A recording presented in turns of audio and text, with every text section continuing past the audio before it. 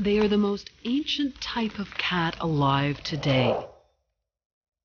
Their genetic blueprint is shared by all cats.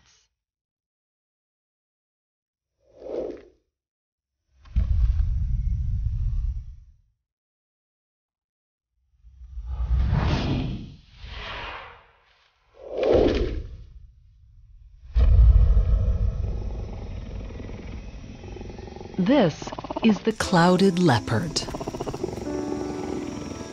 They are key to understanding how cats evolved and spread across the planet.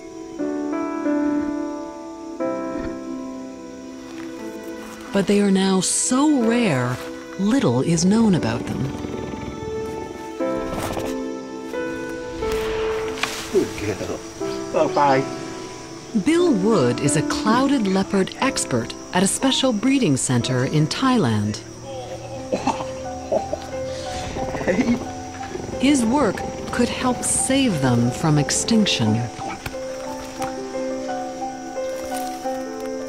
It's incredibly important to breed these cats in captivity because there's very little known about them in the wild. We do know that the population is dwindling, most of the habitat is being destroyed, and it's really a safeguard in case the worst did ever happen, um, as has happened to some cat species, that they become extinct in the wild. At least we'll have some population here. All cats share the clouded leopard's razor sharp canines, heightened senses, their extreme agility.